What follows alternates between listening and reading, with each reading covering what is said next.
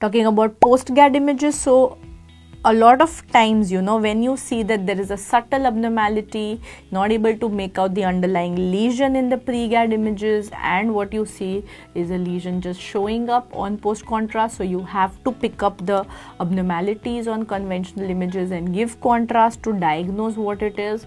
Sometimes you will see the ring enhancing lesions so for this there are various DDs, right? So it could be metastasis from various uh, squamous cell malignancies is usually cavitate, so necrotic metastasis.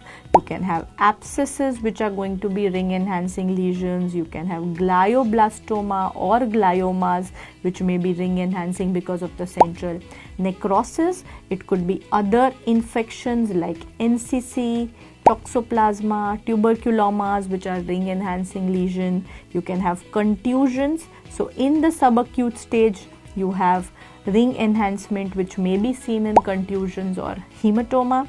Demyelinating lesions may sometimes be ring enhancing what we call as a tumefactive uh, multiple sclerosis variant or you may see a open ring sort of partial enhancement. That is also something that is very typical in active demyelinating lesion and radiation necrosis may also mimic necrosis basically in necrotic lesions. So this is what you need to remember. So uh, acronym quick acronym is magic dr for all of your ring enhancing lesions